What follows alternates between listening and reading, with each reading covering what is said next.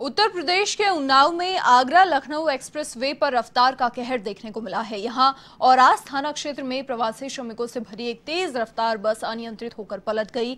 दुर्घटना में बस सवार इकतालीस लोग घायल हुए हैं। इनमें सत्रह लोगों को गंभीर चोट आई है। पता ये चला है कि ये बस राजस्थान से पश्चिम बंगाल जा रही थी। सूचना पर पुलिस और यूपीडी ने मौके पर यहाँ पहुंचकर बचाव कार्य किया। घायलों को जिला अस्पताल में फ़िलहाल भर्ती कराया गया है।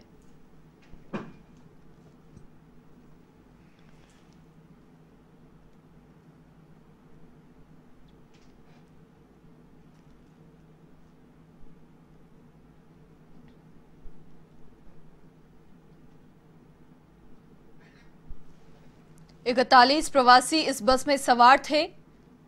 साफ़ तस्वीरें आप देख पा रहे हैं किस तरीके से सामान सड़क पर बिखरा पड़ा है। पुलिस भी वहाँ मौजूद है। राजस्थान से पश्चिम बंगाल ये बस जा रही थी।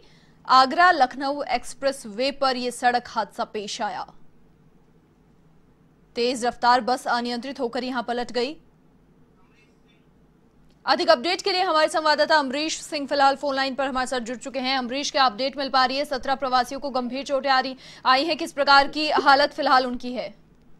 जी मनीषा ये राजस्थान से बस जा रही थी पश्चिम बंगाल की तरफ़। जी। श्रमिकों से भरी बस थी जिसमें इकतालीस प्रवासी सवार थे। जी। और बताया जा रहा है कि बस जो है वो काफ़ी तेज रफ्तार में थी और अपना नियंत्रण खो बैठा ड्राइवर ने। जी। और उसी के दृष्टिगत ये बड़ा हादसा होने से बचा है।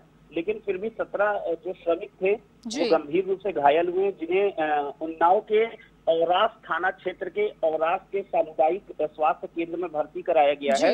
और प्रशासन से जितनी बात हो पा रही है प्रशासन का कहना है सभी घायलों का संपूर्ण इलाज कराकर जो भी मदद हो सकेगी वो सभी मदद करके उनको फिर से यहाँ से रवाना कर दिया जाएगा।